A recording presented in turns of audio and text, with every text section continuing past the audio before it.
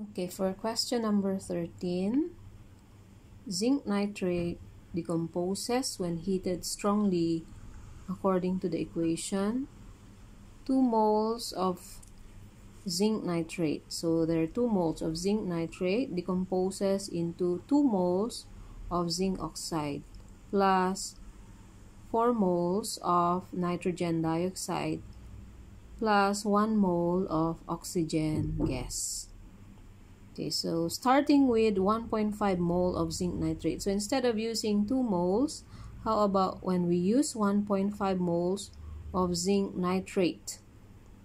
Calculate the mass of zinc oxide produced. Okay, so our ratio here is for every 2 moles of zinc nitrate, there's also 2 moles of zinc oxide produced. So 2 is to 2. So if we're going to use 1.5 mole of uh, zinc nitrate, so instead of 2, it becomes 1.5. So how many moles will there be for the zinc oxide? Since it is 2 is to 2, the same ratio or 1 is to 1, if you simplify, then if you use 1.5 mole of uh, zinc nitrate, then also 1.5 moles of zinc oxide is produce. So the question is calculate the mass of zinc oxide produced. So to answer that, first we calculate the mass of 2 zinc oxide produced. Okay, so zinc oxide, so 2, 2 times the mass of uh, zinc, which is uh, 65 which is 130 and then for the oxygen we also have 2 moles times 16 is 32 which is equal to 162 grams if we use 2 moles. So meaning 2 moles is equal to 162 grams. How about 1.5 moles is x. Then we cross multiply.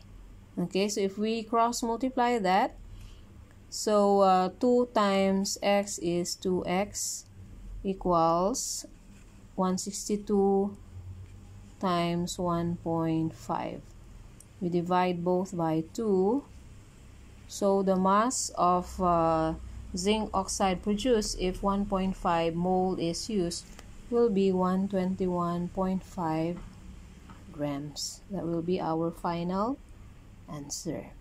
Okay, how about for letter B? Calculate the volume of nitrogen dioxide produced at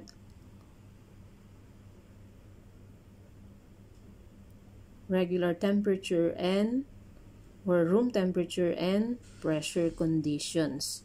So, uh, again we go back from the equation. If 2 moles of zinc, zinc nitrate is produced then 4 moles of nitrogen dioxide will be produced. But how about if 1.5 moles of zinc nitrate? So again we make that ratio 2 over 1.5 so 2 for the zinc nitrate but if we use 1.5 so for uh, nitrogen dioxide 4 over x. Then we cross multiply. So 2 times x is 2x equals 4 times 1.5. Divide both by 2 which is equal to 3 moles. 3 moles of nitrogen dioxide. So uh, we know that 1 mole is 24 dm cubed. That's constant. So if 3 moles, then we need 2 times by 24 is equal to 72 dm cubed. Okay.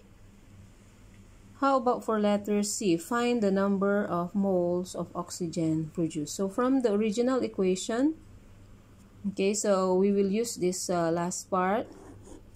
So 4 moles of nitrogen dioxide if we use 1.5 mole of zinc nitrate, we'll produce 3 moles of nitrogen dioxide. So here, will be 3. How about for oxygen here? There's no number, so which means only 1. So uh, 1 over x, we cross multiply. So we move this here. 4 moles of nitrogen dioxide over 3 moles, which uh, we got on letter B.